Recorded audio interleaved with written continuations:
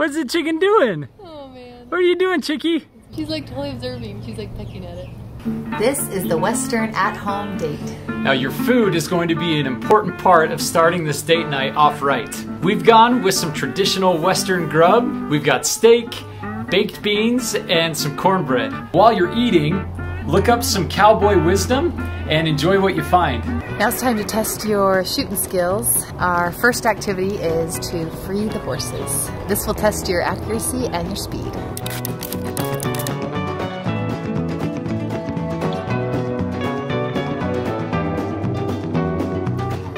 Tip for this game is you'll want a flat surface and you'll want to fill up your water gun a few times. These next few events will give you a chance to test your aim. For this first event, see who can put out the candles with the fewest shots. You're not even shooting the candle!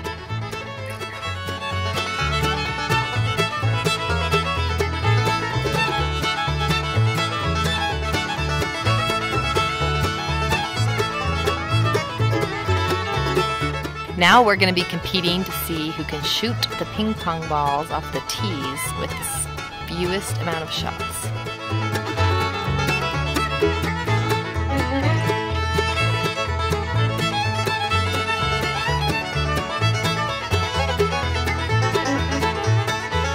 For the final bit of your target practice, one of you blow bubbles and the other see how many bubbles you can shoot out of the air.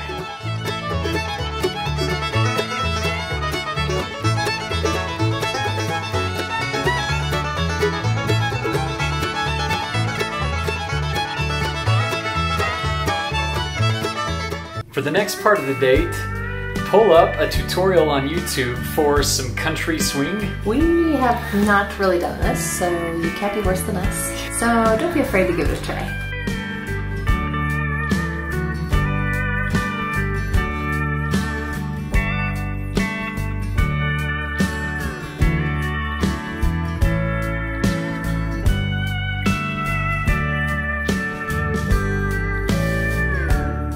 So we've got some more practicing to do.